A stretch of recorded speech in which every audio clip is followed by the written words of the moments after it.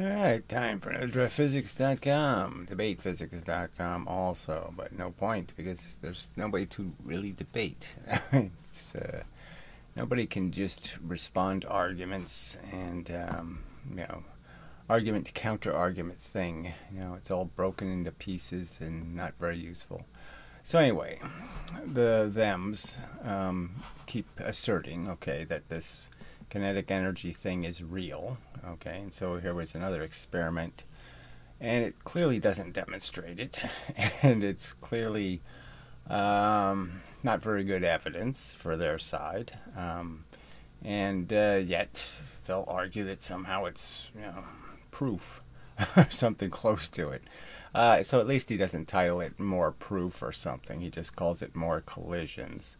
Um, and he doesn't do any um, further analysis in any way. Um, you know, and uh, there are obvious defects, and so we'll do some of that anyway. Um,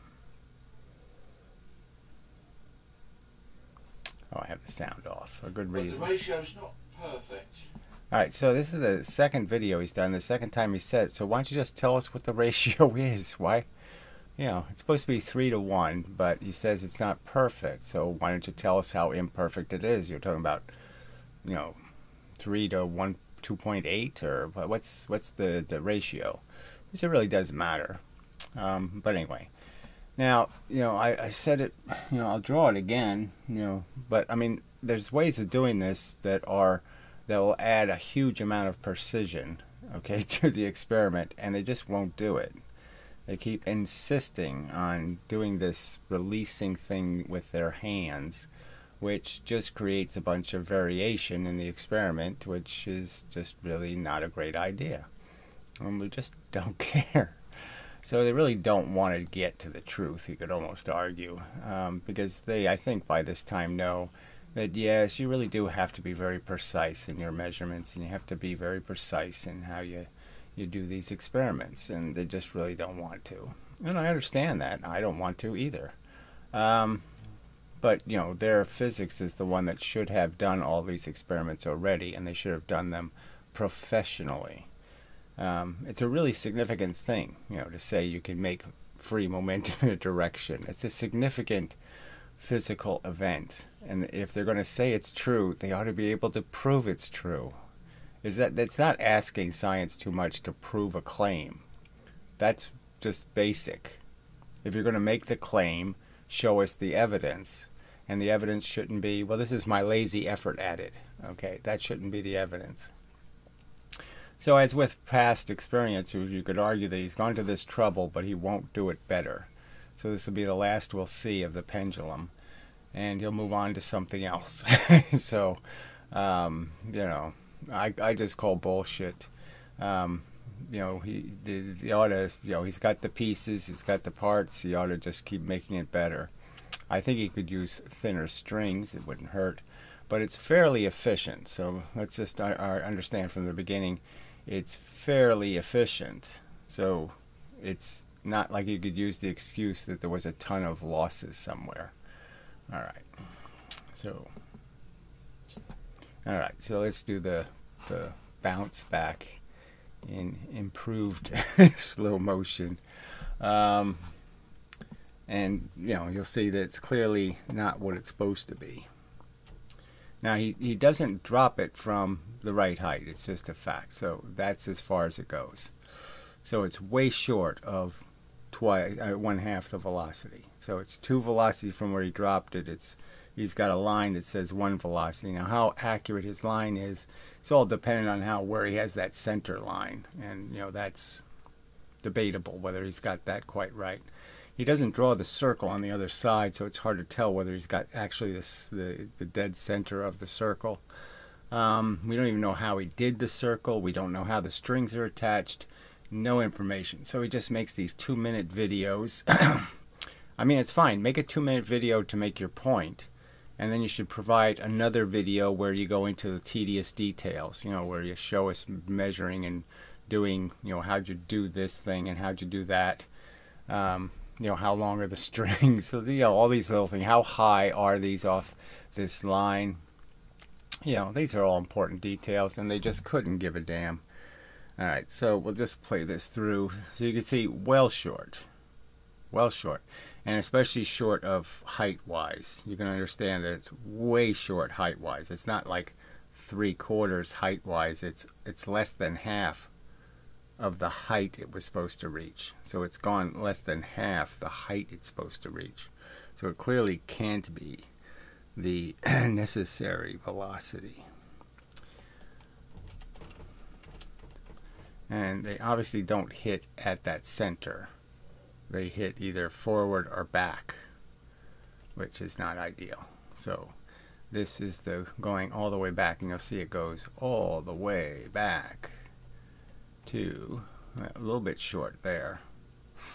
Usually he drops it, so he dropped it from the right height this time. This next time he'll drop it from higher, and you'll see there'll be a different result. Alright, see how high this one goes back. Alright, so clearly not half the velocity there. And this one he's going to catch, so that won't help us any. So let's go round two. Now he says somewhere in this video, which I'm not going to play, oh yeah, I'm sure there's his losses, and uh, you know, but I'm sure if we do it right, it'll come out my way. yeah, yeah, way short. He's sure it's going to come out his way.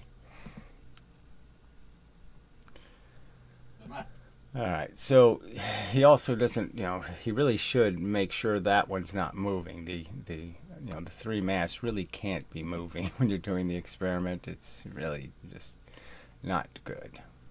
But anyway, we'll see how far back he goes this time. All right, so that looks good. That looks right. That looks not too. You know, in the next one he'll probably go higher. Perfect one to three. All right, so uh, we got the hit. So he kind says again, it's not perfect one to three, but he doesn't tell us how far off perfect it is. Now that's weird, right? So we heard the sound already, but they haven't hit yet. okay, so this is kind of funny. Uh, all right, so there it goes. And that's it. All right, so clearly you could say it's okay. It might have gone half the height that it's supposed to go, maybe. So way short. Way short. So they are below the line, you know, when they hit. Right, let's see how far back up it goes. So yeah, it's about the same, a little bit short. So you'd expect to lose a little bit on each hit. All right, so we'll play one more. Well, it's a lot of things not perfect. Yeah, and there's the simple things. Like I said, you you could just do this once and you you have it, and then you can you know use it to your advantage if you do the simple thing of making the right tools to do the experiment. You just you know why you persist in not doing that. I mean, this the you know the whole idea of a consistent release is not um, an idiotic idea. It's really a scientific idea that you ensure that your experiments are consistent with each other. Then you can make these comparisons and you can glean information. But you can't do that if you have all these variables. Get Gary a call. So whatever, yeah, complain about Gary who just says, "Well, look, if you're going to do the experiment, you do it right, right?" And what's wrong with that simple principle? If you're going to do something, do it right. That offends you? So here he went clearly higher. Okay. So this time this one's clearly higher than the point he's supposed to be launching at. It's funny how it backs up. Just I don't know. I don't know what that is exactly. Why the frame? I guess it's, it's something to do with going a frame at a time. I don't know. All right, but obviously, well short, well short, well short. I mean, nowhere near um, twice, nowhere near half the velocity. Something much less. And then it really takes off there, and well, it's about the same. So, um, yeah, they were more consistent than I thought they were. Uh, but later on, like I said, as you can see, clearly throws a little bit more energy in. And um, clearly, the hit point, the point of release, is not exactly at the center each time. Um, which obviously makes another huge difference in terms of it doesn't take many millimeters of moving one of those lines to radically change how much energy you need to get there. All right, so I'll do the drawing for the fifth time. All right. For the fifth time. I mean, it really is not that, you know, oh, look, it's a little bit of work, okay? But I mean, what you get as a, as a, a tool is so worth the little tiny bit of work. So it's worth the investment. You got all the parts, you got the pieces, you, you know, you might as well do it right. All right. just, I'm afraid it's just logical. Uh, all right.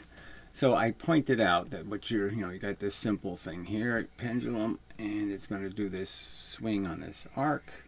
And the simple thing to do is to have a release mechanism that is got the measurement built in.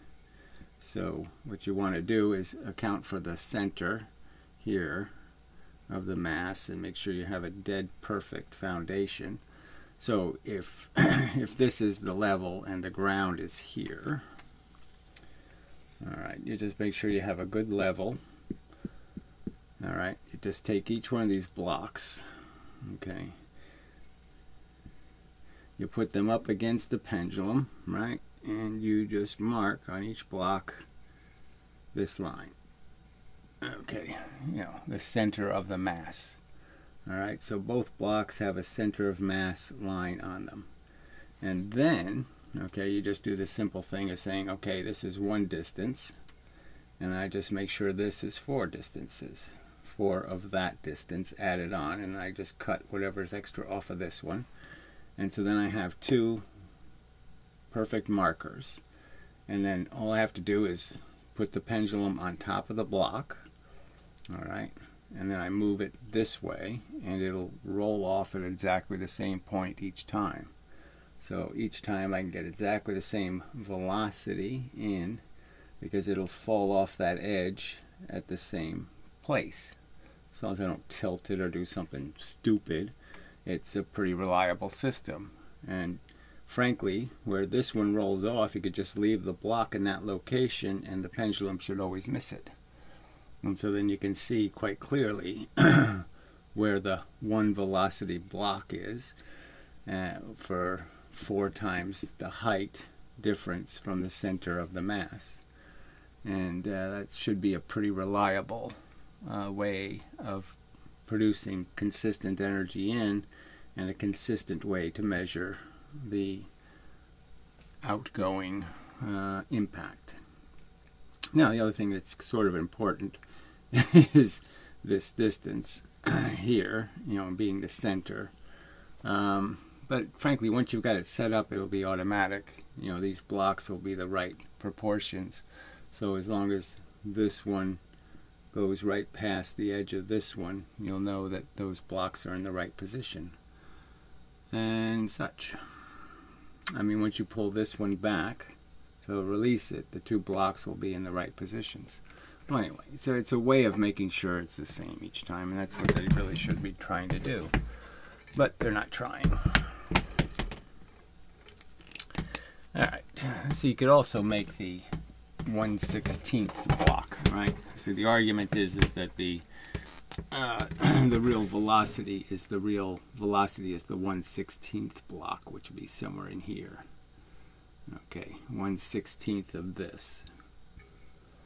So there's 16 of that velocity. And so if it goes back to that block, you know that that's 1 16th or 1 quarter of the velocity. So you have a 1 quarter block, a 1 half block, and a 1 full velocity block. And make it kind of obvious then, uh, kind of hard to miss um, how much energy you have in the experiment. Alright, so we'll just do comments. Um, there's no comments on this video that are worth a damn.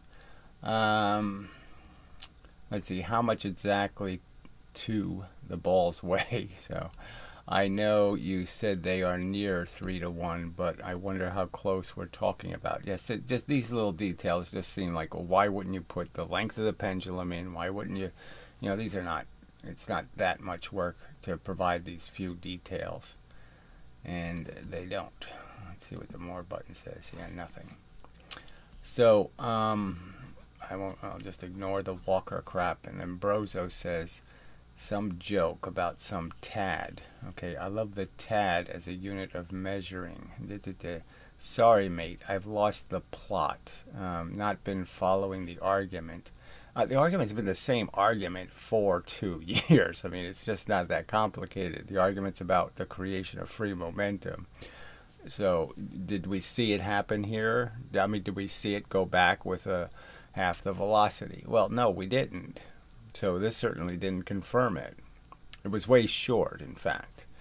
So the best I can do is crack a joke. Uh, so the algorithm thinks I'm taking part in a scientific debate, whatever that even means. Has um, has he been nominated for a Nobel Prize yet? So you, um, you know you're going to eat all these words when the the fact is is that I am right. It is a push universe. It is the speed of force. Okay, matter contains force when it's moving. All these things will be proven to be true. So you're going to be eating an awful lot of crow in your years as a dead person. yeah, your reputation's going to be shit. Um, anyway, uh, you'll be the one winning the, the Darwin Award, the dumbass Darwin Award you know what what kind of uh, you know we could call it the the Inquisition Award. We could call it the dumb fucking clock stopping retard award, but that's what you're going to get, jackass. The Jackass Award. Okay. Uh, there's going to be a picture of an asshole in your face right there in the middle of it. Uh, try persuading him to make his own bungee rope. What the fuck does this have to do with anything? Oh, yeah, nothing. Okay, so completely off the subject comments, absolutely useless mush, blah, blah, blah, blah, blah. What else is new? So they're not just saying, hey, you know what, that's weird, it didn't come out right. yeah, totally failed, didn't it? Now, look, it doesn't look like one quarter. I'm just saying it looks a little bit faster than one quarter. Um, but how it looks based on these drawings, like I said, we don't have any information exactly. And obviously, from the camera's point of view, these look below the line, not on the line. So there's lots of little, you know, bugs in this example. Little bugs. I mean, basically, it's not that complicated an experiment, um, but um, you know, we're not getting to see it like I said, it'd be good to be able to see how centered, you know, this line does appear to me to be skewed in this direction. And if you drew the rest of the circle, this would be a little bit too far forward, but just my opinion. Um, anyway. Oh, we're not on the image. Does that matter? Yeah, I don't think you missed anything important. yeah, I don't think you missed anything at all. Uh, the comment reading is, you know, just not that useful. All right, so I'll take a pause and go to my comments and talk about different stuff, I guess. Some of the same, some different. People are just profoundly uninteresting. It's just a fact. All right, comments. Uh, yeah, whatever. All right, so it says, uh, "Do you take drugs?" I mean, you know, it's just so this is the best they can come up with as counter arguments. Do you take drugs? I mean, it's a real subject, a real subject for 300 years. There's no hard evidence. There's lots of people sitting here arguing about it because there is no existing evidence. That's the whole reason why there's anybody involved in this, and this is why the discussion has taken two years, is because there is absolutely no hard evidence, and that's the best you can do. I mean, you know just such a waste. and it, like I said, people will defend humanity as having some function besides just proving it can only fart. You know, the brain fart, real fart, all the same thing. I mean, just too ridiculous that somebody just wastes time with this nonsense. All right, and this other uh, asshole. yeah. That's I just you can't press anything on YouTube. Just amazing. Oh, fuck. Just, you know, the icon, the, the the thing you're clicking on shouldn't be six feet away from the thing. You know, you should be able to find white space on the page somewhere. You know, where it isn't actually a link. Alright, so this asshole says you're conflating momentum, mass times velocity, with kinetic energy. So obviously, it's right in the title. I'm pointing out how the two are in conflict with each other, that they can't coexist. the fact is, they can't. Every time you transfer energy from uh, uh, uneven masses, you will either have to destroy momentum or you'll have to destroy kinetic energy. You have no mathematical alternative. You fucking cunt. I mean, asshole. I mean, idiot. I mean, fucktard.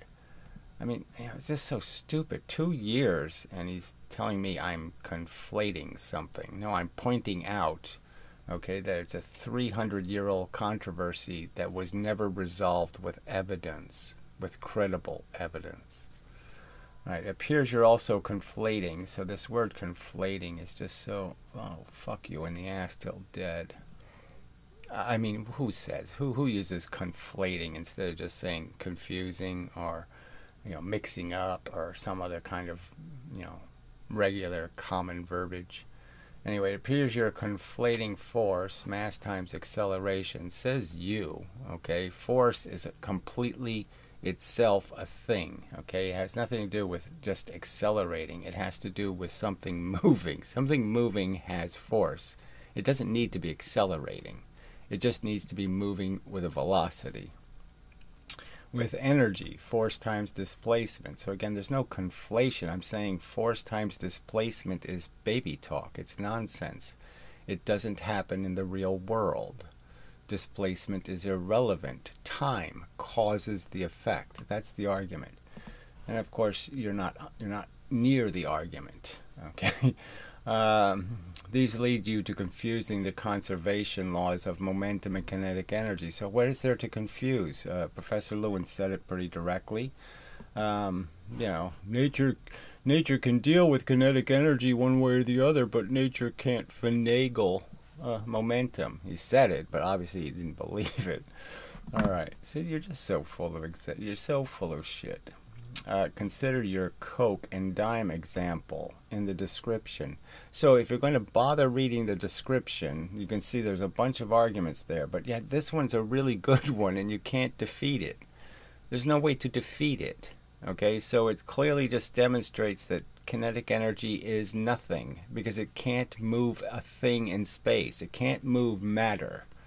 If it can't move matter, it's not real energy you correctly identify that there is conserved value due to the lack of external forces. It doesn't have anything to do with external forces. It has to do with the fact that right off the bat you're violating Newton's third law. Your kinetic energy is saying that somehow the dime took 2,000 joules to produce, and the the uh, you know two liters uh, took uh, two joules to produce its motion. So there was no equal and opposite reaction that causes the event. I mean, you just you people are just you can't be that stupid. You can't figure that out. I mean, come on. Uh, you correctly identify the persons moving at the same speed in both cases. What persons? There's no persons. Oh, you're just you're just saying what the fuck are you talking about persons? All right. However, you incorrectly assume that the conserved value must be kinetic energy. Where did I assume that? I'm explicitly saying that the kinetic energy obviously can't you can't show that it took twice I mean 2000 a thousand times more energy to produce the dime you can't prove that it took a thousand times more energy and you can't collect a thousand times more energy from the dime that's what I asserted plainly and since the conserved value is actually momentum, uh, again, what's the point? If if whatever one is conserved is the real one, that's the that's the way it's going to work in reality. Okay, so the one that isn't conserved is likely the fake thing, and the thing that is always conserved, as Professor Lewin says, is likely the real thing. All right. You conclude that kinetic energy must be momentum. No, I didn't conclude that at all. I said right out and overtly that kinetic energy is a fable. It's a lie. It's nonsense. There is no squared velocity, just like there is none in electricity. There is no square voltage. Uh, there is no squared velocity in physical uh, uh, motion kinetics. All right. Let's see. In fact, the kinetic energy is not conserved in the example. So where did where did you say it's not conserved? I mean, clearly the dime is going, okay, 2,000 joules worth of energy. It had to get it from somewhere, right? You can't just make that part up, can you? Can you just pretend that a, a 4 joule explosion can create a 2,000 joule um, dime? No, it can't. All right, this is because the significant amount of chemical energy converted into kinetic energy by the person's arms. So we're not talking about throwing the dime, we're talking about ejecting it. So it doesn't matter about people's arms. It's just such a pile of shit. You obviously can't throw a dime, uh, you know, 2,000 miles an hour. Exactly how much, um, thousand, exactly how much chemical energy is converted to kinetic energy uh, changes based on two scenarios. So this is all just made up, completely made up. There's absolutely no evidence of any of this bullshit that if I'm a pili player, you know, and I'm using one of those paddles, you know, that has leverage involved, that I use any more energy, you know, when the ball's here or here or here or here. Um, you know, obviously I have to throw a mass at a velocity. I have to give it that force to go that velocity. Um, I, you know, obviously the one pound on the lever, four times the distance is going to weigh the same as the four pounds at one distance. Just a fact. All right, let's see. I think you will find that throwing uh, throwing a liter of Coke at one mile an hour is easier than throwing a dime at a thousand miles an hour. Well, it's not for a lever, so that's the whole point, right? The lever sort of proves that the ideal lever wouldn't have a problem at all. So says you, absolutely zero evidence. So you say uh, you'll find these things, but in 300 years you haven't proven any of these things. So you've had 300 years to show an experiment where four pounds dropped one foot is the same as one pound dropped four feet, and you haven't done it.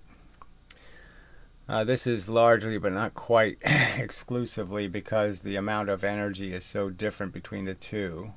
Throwing a dime also has to be done quickly, which requires more power, which is also hard. Says you. So again, you're just making this crap up. You're saying it takes more power to throw a light thing.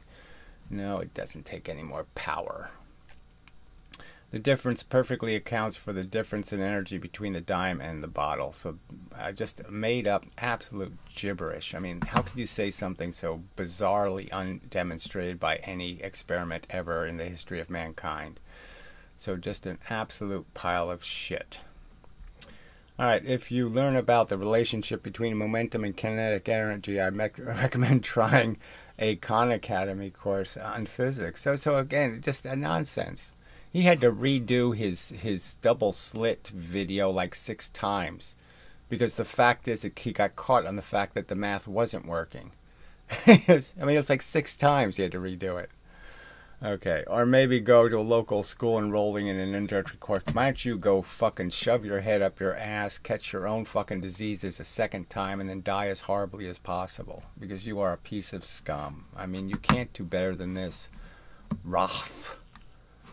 Oh, God. Jesus Christ. What is this comment still doing here for? Alright, well, anyway, my mouse is appearing to fail. So I have to take a pause and recharge my mouse. Alright, back. Uh, anyway, okay, so let's see if this. What the hell is this thing doing on my screen? Alright, anyway, finally went away. Um, alright, well, this drug comment, what is it still doing here? We'll delete under it. Yeah, we'll remove it. Yeah, go ahead. Too stupid. Um, anyway. Alright, so now we're on to black holes. And, uh, the asshole here is the same asshole here. So the asshole made some fucking stupid comment. Anyway, so this is the other guy. Regarding black holes, I already mentioned. You mentioned that the maximum matter can be compressed is the neutron star. What I mentioned was there's no such thing as taking electrons and protons and putting them in the same place.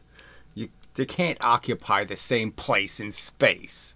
What I'm saying is is that idea, the singularity thing is retarded on its face nonsense. Why would anybody believe that without seeing it? I mean, it's just so fucking stupid. All right. And that's a premise of physics that this is happens all the time, you know, where matter occupies the same place. When obviously it never fucking happens. All right, anyway. Um which is a state where protons and electrons are compacted into a densely packed crystal-like state. I, I simply stated that the fact is is they they can become very close together. That is, all the report, repulsive forces can be negated if you simply do the checkerboard thing. So again, I shouldn't have to. Okay. I really shouldn't have to reassert some kind of point that I think is just so simple that, you know, a 10 year old could grasp the concept that if you create an arrangement of the objects, they can't really see each other, okay, in a significant way. So if all the protons are in this kind of arrangement, all right, and then I just have the electrons doing exactly the opposite, you know, filling in these holes. You could understand, I would hope you could understand, that the only way the electrons can see each other in this perpendicular kind of, I mean, this cross kind of uh, uh, circumstance, right? That they can't see each other, all right, this way anymore at all. They can't see each other this way at all.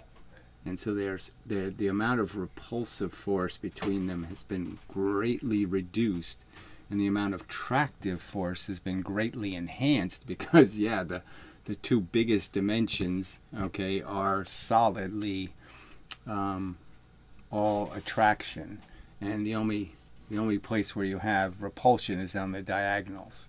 And the closer you smash them together, you can almost see that there'd be even less and less of that capacity for them to repel each other, because only a tiny sliver of them would actually be see each other. So that's what I argued. That obviously you could really get a bunch of electrons and protons into a very small amount of space uh, by uh, ordering them correctly in that simple pattern. All right, crystal-like state. What exactly keeps electrons and protons apart in that state? Why would they be apart? So they don't have to be apart. That's the whole argument. Well, there's no law what's the law? What's the physical fact that tells you that an electron can't be pushed right up against uh, a proton? There's no physical law against it. There's nothing about charge that says it can't happen. I mean, it basically says it must happen in a way. The whole function of charge is basically saying it must happen. There's nothing to stop it from happening. I have never heard you explain the substructure. So, I mean, that's just, I, am sorry that you haven't seen it in all these millions of videos where I've explained what charge is. Uh, but shit, sorry, that just does, I can't buy that. So just watch the uh, 2 plus 2 plus 2 video on the website. It explains charge and explains, and then you could just you can just understand how, oh yeah, I guess you know, I can make a neutron pretty easy, an electron and proton stuck together. Or what it means when you say the surfaces touch. Well, so you know I've said it, so why can't why can't what you can't understand that? You can't you, know what you can't understand this? You can't oh look, they're stuck next to each other. You can't understand two magnets stuck to each other that they don't become a singularity. One magnet doesn't go inside the other magnet, they blend into one thing no, they sit there, you know, one magnet's here, one magnet's here, and they're stuck to each other. What's so complicated? For fuck's sake. We're just assuming that, let's say the magnets were monopoles, okay, at north a, a all north magnet and an all south magnet, right? And you just sit there put them in space, and they're just going to stick to each other, right? Duh. Uh, That's not uh, that's not even close to complicated. I don't mean to be insulting, but come on. Is it because space is quantized or something like that? No, space is just locations in space. So of course it's anything can be quantized. What do you think there's an infinite amount of distance between two things? Well, no, I'm saying there's not an infinite amount of distance. Okay, I'm saying there's electrons and protons and force and nothing gets smaller than those things, okay? They're indivisible, those are it. That's the universe. So if you want to say a Planck length would be the width of an electron, you can make up any number for the small distance. Um, but obviously, the real distance would be this the the you know amount of distance.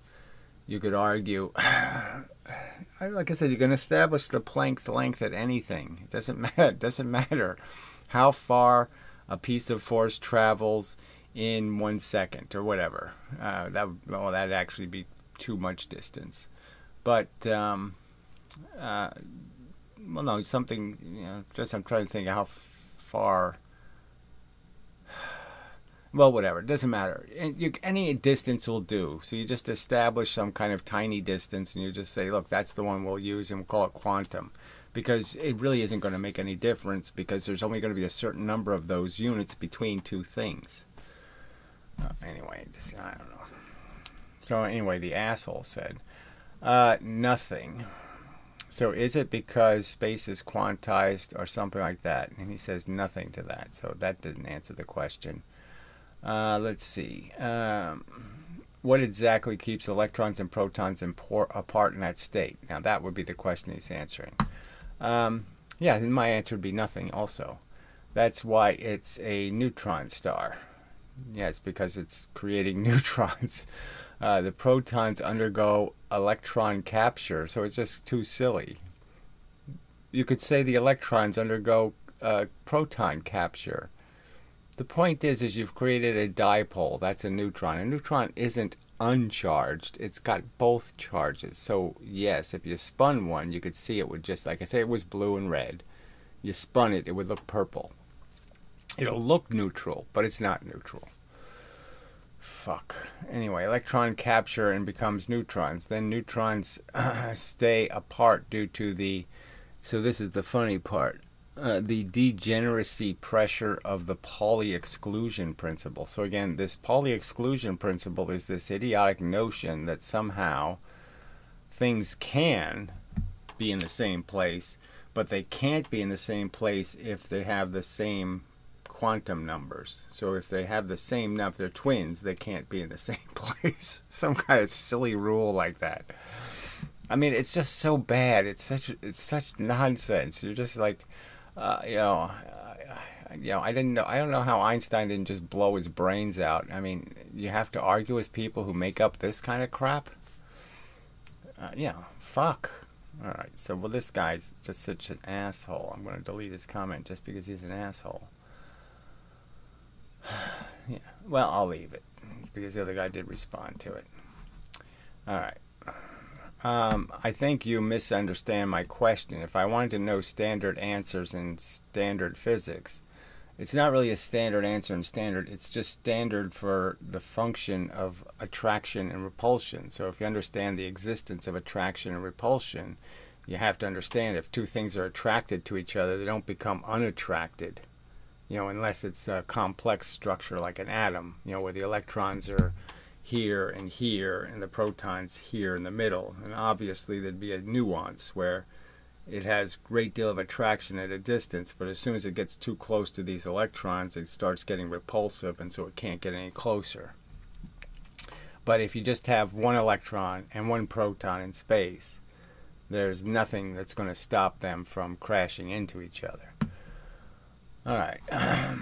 Uh, I would I would watch Sabine Hossenfelder on PBS Spacetime or some other wave particle talking heads whom have already an overdose of draft science suggests a new fascinating type of physics and my question is about his new physics. So I think it's old physics frankly before the woo. So it's just before the woo physics. So where you still had to have a mechanical answer, you couldn't make up fake bullshit. Um, bent geodesics wouldn't be allowed as an answer, you know, 300 years ago.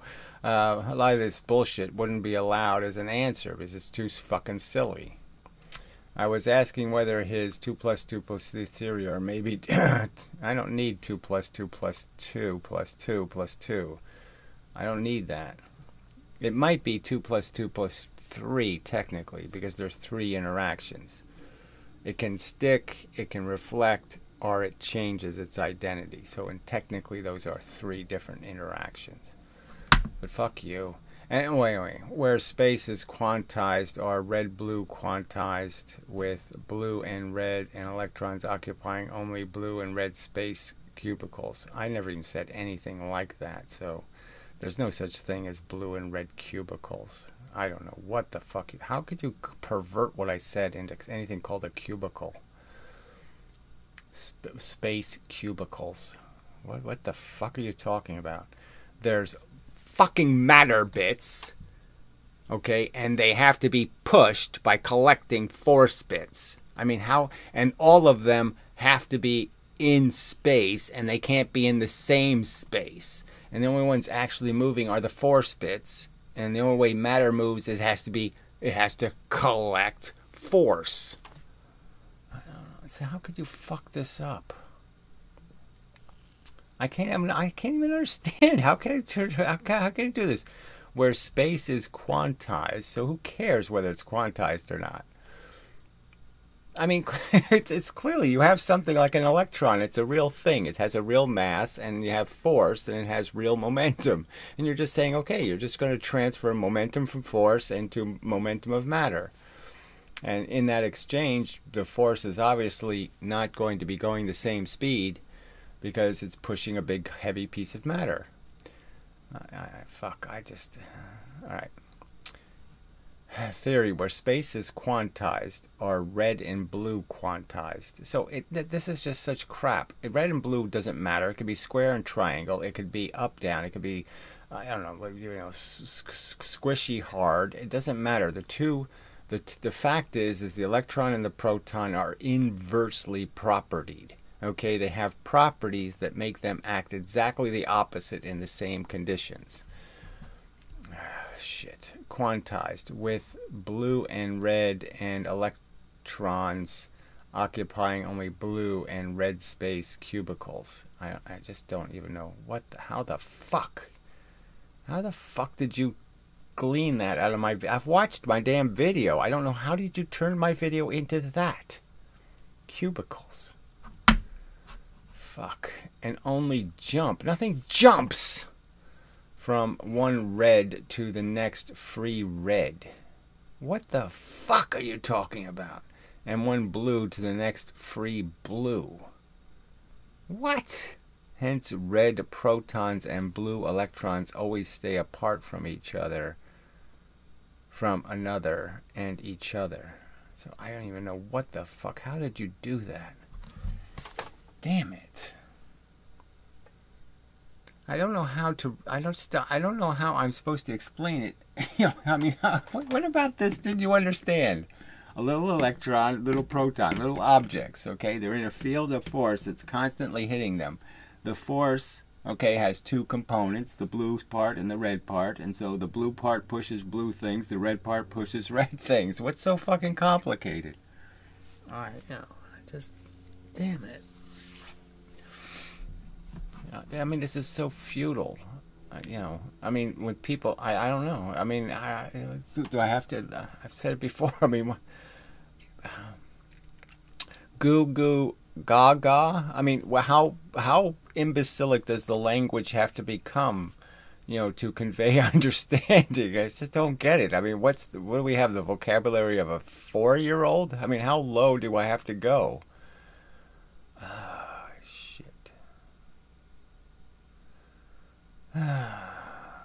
so I don't know if I gotta read this piece of shit.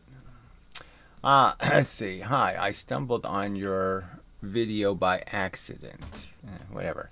I had to look at your website because I couldn't make out what you're rambling on about uh, without any context. So clearly, right in the title of the video, MV versus one half MV squared. I mean, what I'm rambling on about is just made so obvious. The experiments are pointed out right in the video. I'm illustrating the experiment we're talking about.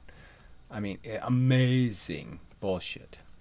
I think your presentation is harming your efforts to spread your ideas. Yeah, so drawing a picture, okay, yeah, it's, it's too confusing for you people. Oh, fuck. By the way, I think you're very wrong. Well, gee, by the way, I don't think I give a fuck what you think. So I think I already read this. I mean, you don't even have consistent math derivations that allow any prediction. So of course, it's all kinds of predictions. So again, just a more lying about, oh, there's no math. Yeah, there's plenty of it. Okay, it just doesn't have a squared in it. You fucking moron. A squared velocity whereas modern tech would work wouldn't work without the current standard model being correct. Well, that's just such a lie. I mean, such a fucking goddamn lie. You can't point to a single piece of technology that requires any of this Pauli exclusion principle or any of that horseshit to be true. Not a single fucking thing ever invented. Uh, let's see, down many orders of magnitude behind the uh, comma, whatever that means. So again, th- this is the you know, this is the big lie that we we we're going to measure the mass of an electron, and what are we going to do? We're go- we're going to measure its mass by assuming mv squared. That's the formula they're going to use. So they calculate it with mv squared, and then when they get the answers, they use mv squared to calculate the same answer. So of course the match it doesn't mean anything. You started with if you did it with MV to start with and MV to to to finish with, you would have got exactly the same accurate prediction. The prediction wouldn't have changed any. It just would have been a different order of magnitude.